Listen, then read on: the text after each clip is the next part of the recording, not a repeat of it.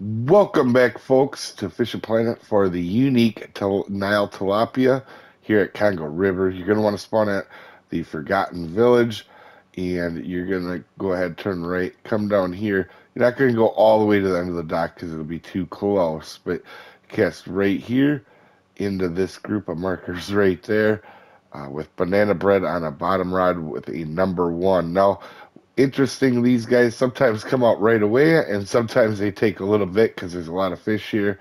Uh, but if you use banana bread, you'll only get tilapias and uh, the uh, lumbeos. You can also use Caddis, uh, Caddis larva, but that will catch a few other fish.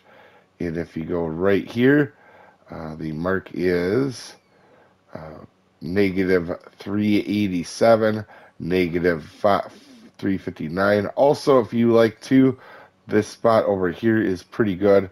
Um, right over here. It's one of these marks here. There we go. 137, negative 1, or negative 837.2. Um, and like I said, a number one, 1 0 works pretty good. And if you're going to float them, 20 inches deep or 50 centimeters, guys. But like I said, sometimes they come out real quick, and sometimes you got to kind of wait a little bit for them. But anyway, hopefully this helps you out. We'll see you next time. Have a good one, folks.